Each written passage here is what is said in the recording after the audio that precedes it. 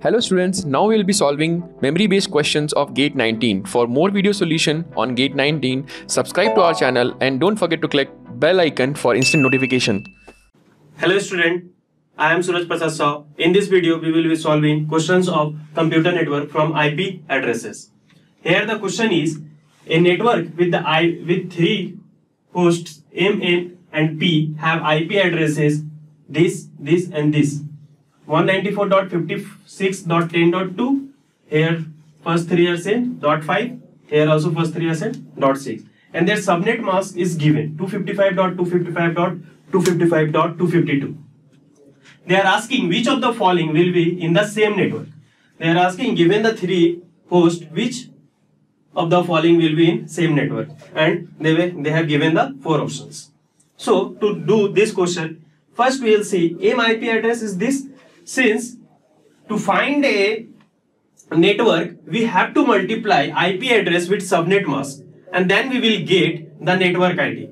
So in this way, we will find whether if the network ID will be similar for any of these, then we can say that these are in same network. So first we will do, we are first writing the IP address of all the threes. Okay, all the three M, N and P host. Here 194.54.10 dot this. Here 2 I have written 2 in binary numbers. Since we have to represent in 8 decimal point. So we have represented in 8 decimals. Okay.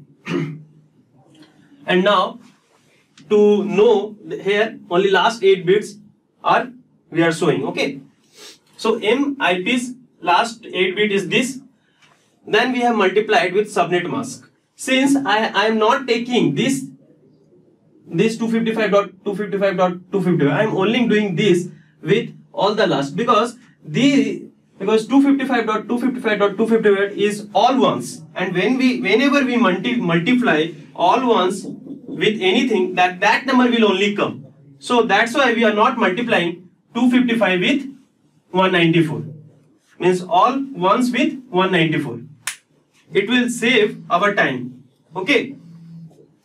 So here we have multiplied M's IP with subnet mask and we are getting network ID as at last 8 bits only zeros. So M network ID is 194.56.10 because if we multiply that numbers with equal number of uh, means 8 ones then we will get the same number only.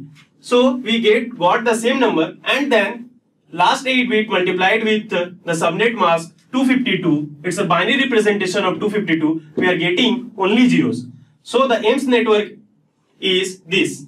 Similarly for N, we have did and we found out that a N network is this. So net N's network is 194.56.10.4. Okay. And similarly for this. Here we got 194.56.10.4. These two are having same network. This is not.